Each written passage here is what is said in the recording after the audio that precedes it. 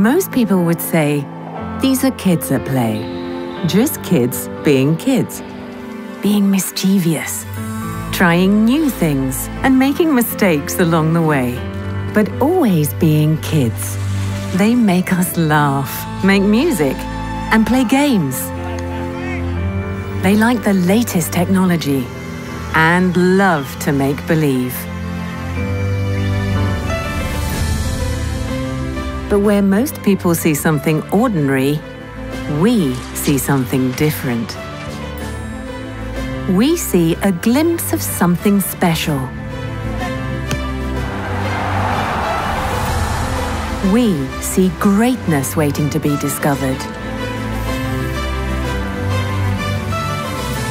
We see genius. GEMS Education.